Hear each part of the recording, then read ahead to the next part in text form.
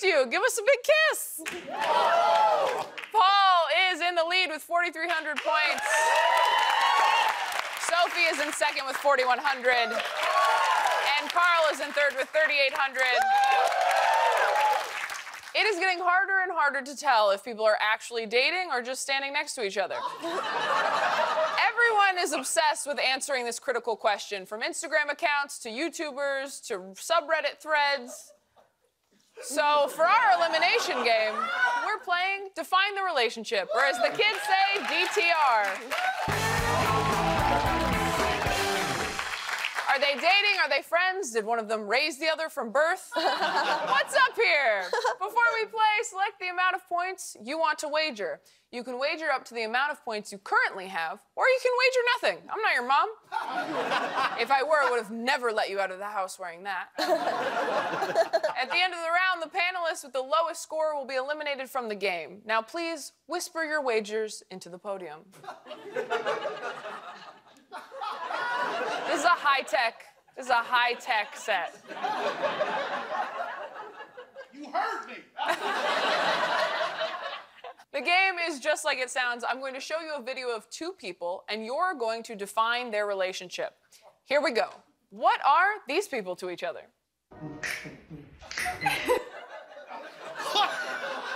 Do we need to see the video again? Yeah, yeah. Yeah, let's show you it again. Take a second to really consider before you lock in your answers. Sophie's locked in. Carl is locked in. Paul is locked in. All right, let's start with you, Sophie. Are these people dating, parent child siblings?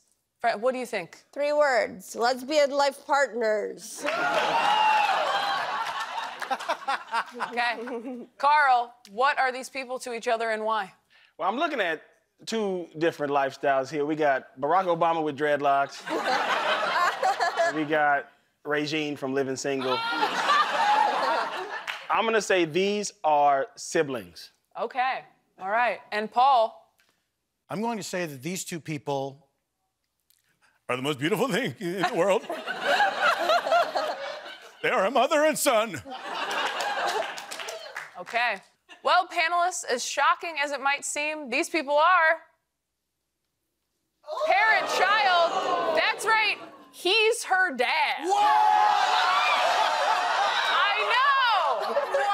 I know. Paul, was Paul my is the only one who got close. So I think we're gonna give it to him. Paul, what did you wager? I bet it all, baby.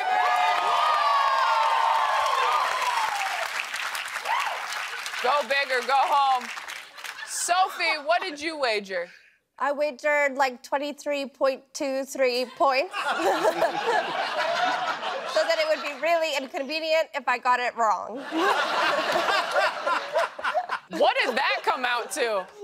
4,077 points. That's right. We, That's what I. we rounded down from a, a decimal, I think. and Carl, what did you wager? Too damn much. They kept telling me to bet more money. I was gonna walk away from the table. I can't go home. 2,000, I think. 2,000? Oh. That puts us at Paul in first place with 8,600 points. Sophie in second with 4,077 points. And Carl in third with 1,800 points. Unfortunately, that means we are saying goodbye to Carl, who has been eliminated. And, uh, yeah. Carl, you've been a bad, bad contestant. And that means you are under horny arrest and you must report. You must report to horny jail. okay, so just take the handcuffs, and when we cut to commercial, we're just you're just gonna sit off camera. Okay? Horny jail is more of a concept. Okay. All right. Okay, Carl, anything to say? anything to say for yourself before your life sentence in horny jail? Well, I never thought the day would come where Taylor Tomlinson would tell me to go to horny jail. and I'm happy about it. Well said, and I'm sorry. Now, our remaining two panelists. I think we should require the eliminated panelists to melt like that. That was magnificent. Now our remaining two panelists will face off in our final round. It's for the win. It happens to everyone. You've been blocked by a celebrity because you're weird and you probably did something to deserve it. We hear it after midnight. Oh, like this person who asked William Shatner if it was true that he's an ass, and he said yes and blocked them. we here at After Midnight are all about the power of forgiveness, and in a perfect world, even the most mouth breathing of creeps would get a second chance. Okay, maybe not that one. Comedians, tonight, you are those creeps. In a brief letter, please write to the celebrity who blocked you and beg for their forgiveness. And don't forget to apologize for exactly what you've done. We'll find out what they did to those innocent A-listers after the break. Now, don't touch that melatonin.